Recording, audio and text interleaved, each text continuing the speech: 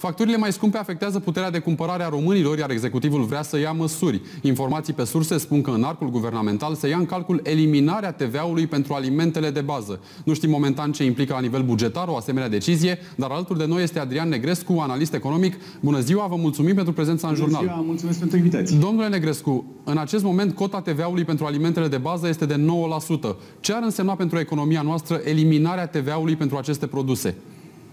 Păi, în primul rând, ce însemna pentru consumatori? O scădere a prețurilor cu 9%. Și mai mult decât atât, să nu uităm că noi avem alimentele eco, adică cele ecologice, ce cu origine controlată, care sunt, au un TVA de 5%. Deci, între 5 și 9% ar fi scăderea uh, de prețuri. Asta dacă, și e important de spus acest lucru, dacă uh, producătorii și comercianții de produse alimentare vor menține prețurile la nivelul actual. Că nu e, e posibil să le crească și să încerce să, să exploateze această decizie. Dar e o decizie care poate fi o gură de oxigen pentru populație populațiile în condițiile în care mai mult de jumătate din banii îi dăm, din păcate, pe, pe mâncare în România.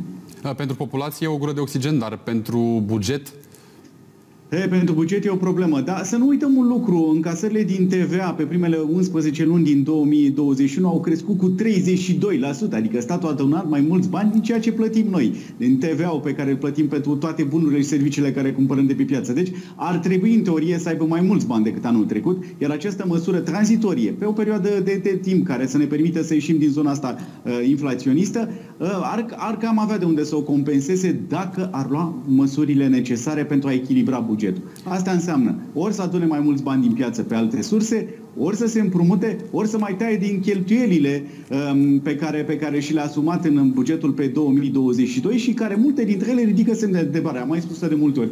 Din păcate aruncăm cu bani în piață uh, de la bugetul de stat fără ca acești bani să se întoarcă în încasări la, uh, la buget. În alte țări, spre exemplu Ungaria, guvernul reduce prețurile la alimentele de bază. Adică va subvenționa în mică parte aceste alimente ca să fie, din câte am înțeles, la nivelul lui August. Nu ar fi asta o soluție mai fezabilă și pentru noi?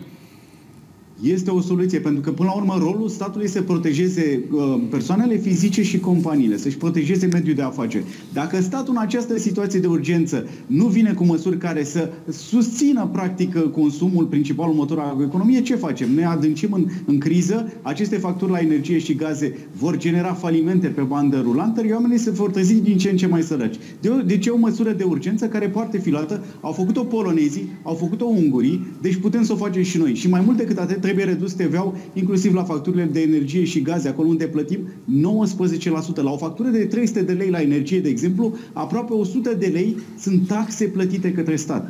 Hey, cred că ar trebui, ar fi momentul să ne mai gândim puțin dacă taxele astea care le plătim statului nu sunt cumva cam prea multe pentru, pentru ceea ce primim. Ministrul Investițiilor și Proiectelor Europene, Dan Vâlceanu, fost ministru al Finanțelor, a comentat ieri această variantă a eliminării TVA-ului. Să-l ascultăm. Este o măsură care, cel puțin la momentul ăsta, contravine directivei de TVA. Putem să discutăm orice, dar să uh, ai o reglementare uh, mă rog, care, care contravine unei directive, asta înseamnă infringement. Există oricând instrumentul de a plafona prețuri și a interveni în piață la, uh, la modul acesta, de a fixa tu prețuri de la guvern. Domnule Negrescu, deci nu numai că ne-ar putea afecta la nivel economic, dar riscăm să intrăm și în infringement, pentru că practic trecem peste niște directive fiscale ale Uniunii Hai Europene. Hai și pe asta. Într-adevăr, Uniunea Europeană are o limită de TVA de 5%, limită minimă. Adică tot ce e peste 5% se poate aplica. Dar poți discuta cu Bruxelles, cum au făcut cei din Polonia, cum au făcut cei din Ungaria, ca pe o perioadă de timp să obții o derogare de la acest uh, mecanism privind TVA-ul și să poți să reduci prețurile, să poți să reduci această taxă la, la zero. Deci nu e o nu e o soluție care nu poate fi pusă în practică, din potrivă. Au făcut-o și alte țări. Ideea este să existe voință politică și să mergi la Bruxelles și să susții cauza. Noi suntem printre cei mai săraci locuitori ai Uniunii Europene. Polonezii, ungurii stau mai bine decât noi din, din punct de vedere financiar. Deci ar fi încă un argument în plus pentru a susține la Bruxelles faptul că avem nevoie de o relaxare a acestui mecanism de TVA pentru a ajuta populația într-o perioadă extrem de dificilă. Într-adevăr, vedem că țările mai bine dezvoltate din punct de vedere economic iau această măsură și noi încă stăm pe gânduri.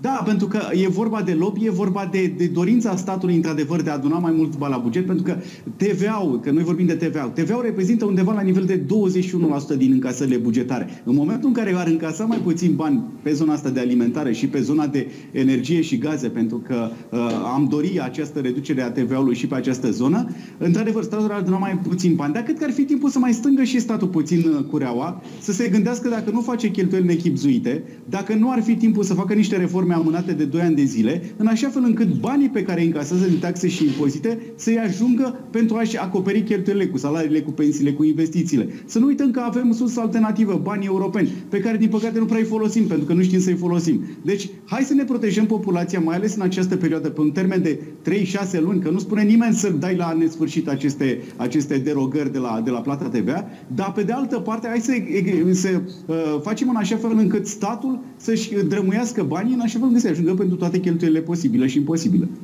Vă mulțumim foarte mult, domnule Negrescu, pentru toate aceste informații.